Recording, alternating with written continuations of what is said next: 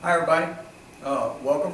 Uh, today I'm going to demonstrate uh, how, how you can uh, increase your strength using this uh, Ultimate Body Press uh, dip machine.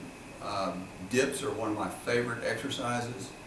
A lot of your bodybuilders swear by dips for building massive triceps and, and pectoral muscles, but we're not bodybuilders. That's not my goal here. As you can tell, I'm not a bodybuilder.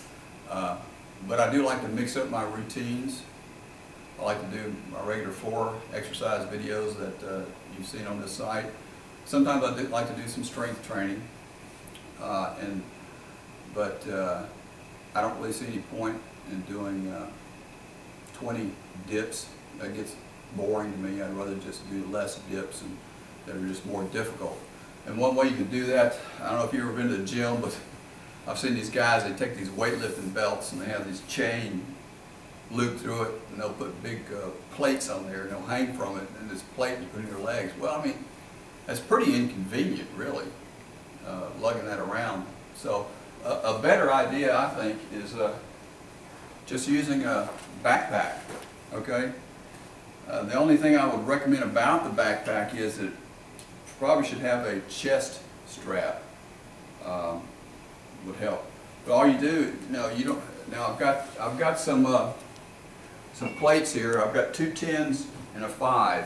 You can use anything you want. You can weigh. You can fill up a milk jug with water, uh, a bag of sand. Use whatever you want. I just happen to have these, so I'm going to put 25 pounds in there.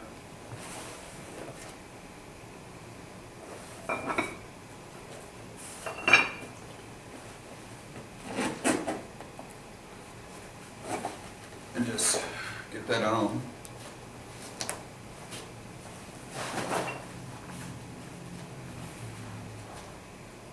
Chest strap really isn't necessary for dips, but if you're doing something like pull-ups, that would be. So anyway, you've got a great way to do dips.